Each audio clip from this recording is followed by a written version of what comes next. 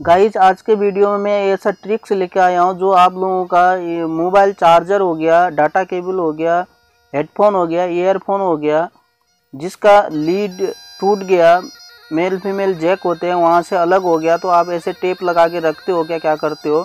यहाँ पर ऐसे फट जाते हैं। तो आप लोग क्या करते हो? यहाँ पर टेप लगा के रखते हैं। टेप जो है, वो काम करता नहीं है। खाली टेप लगा के कोई, वो नहीं होता है। तो मैं एक ऐसा बेहतरीन ट्रिक्स लेता हूँ यहाँ पर, ऐसा ओरिजिनल आप घर पर ही बना सकते हैं, सिर्फ़ पाँच रुपये में, पाँच रुपये खर्च कर लोगे यहाँ पर। तो उस पाँच रुपये से आप घर पर ही आप उस, आपका headphone earphone data cable mobile charger जो भी है, आप घर पर रिपेयर कर सकते हैं। उसके लिए आपको एक तागा लेना है थ्रेड लेना है, एक पाँच रुपये का फेबिक्विक सुपर ग्लू या लॉक टाइट कोई भी आप छोटा सा एक ट्यूब ले लेना है, पाँच रुपये का।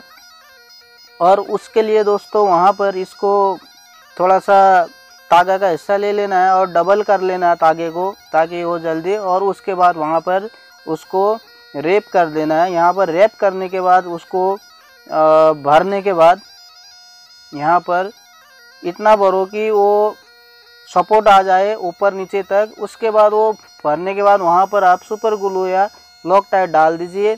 और ओरिजिनल के रूप में रहता है ये। कभी टूटेगा नहीं, फूटेगा नहीं और ओरिजिनल हमेशा के लिए आप इसको घर पर ही रिपेयर कर सकते हैं। दोस्तों, एक बहुत बड़ा बेहतरीन ट्रिक्स है दोस्तों।